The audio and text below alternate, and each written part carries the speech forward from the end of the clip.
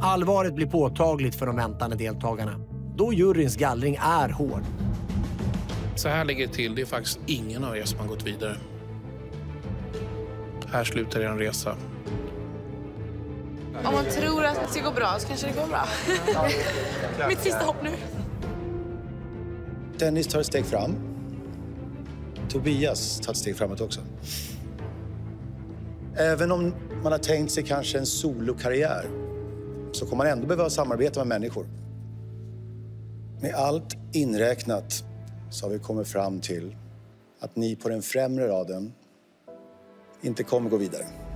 Det är ni på den bakre som har lyckats bättre.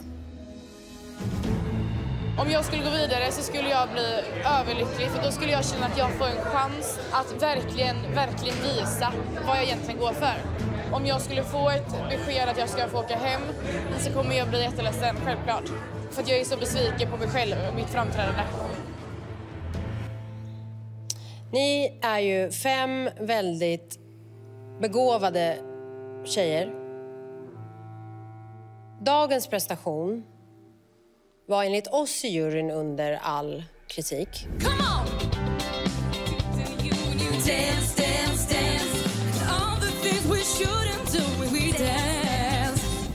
Och det är viktigt för oss att vi känner att ni ligger på den nivå som vi förväntar oss att man ska vara på när man är med och tävlar i Idol 2017.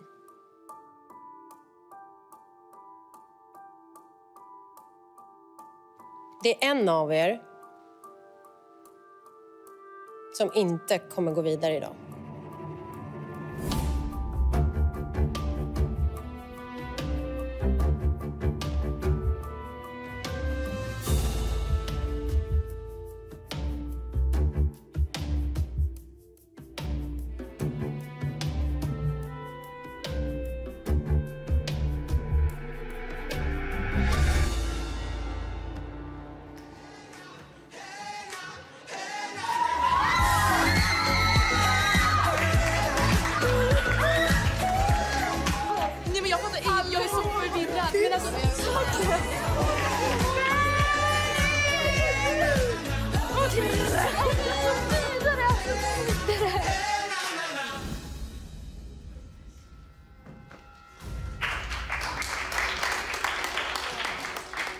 Men jag trodde verkligen jag skulle gå vidare. När de sa att det var jag som skulle lämna så blev jag förbannad.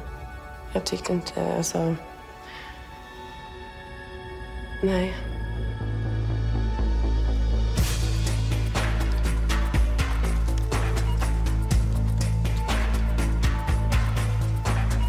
Alltså, vi är ju under en ordentlig press just nu. De var ju riktigt hårda mot oss idag, juryn. De sa ju att vi var ju eh, ett gäng eh, barn som gick i skolan liksom. Det här var taffligt. Ni, ni var inte på bollplan. Det krävs nog att man har sina mellanstadiebarn på en liten kvällsshow för att tycka att det var bra och vara stolt. Hej, välkomna tillbaks. Tack för att ni väntat. Vi är ju inte superimponerade av det vi har sett från er idag här på scenen.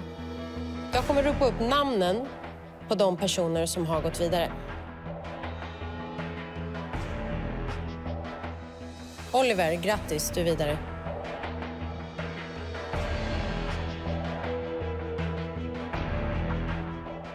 Jack, grattis, du är vidare till Solsång. Det är enbart en person till som kommer gå vidare.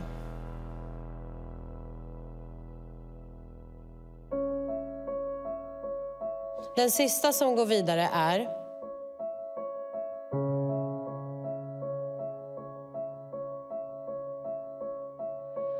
Viktor, stort grattis, du är vidare.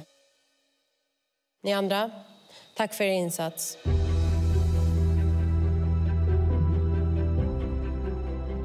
Det känns jättetråkigt. Uh, inte alls uh, som jag hade tänkt mig. Jag hade sett fram emot att fortsätta. Men um, sånt är livet. Det finns nya möjligheter.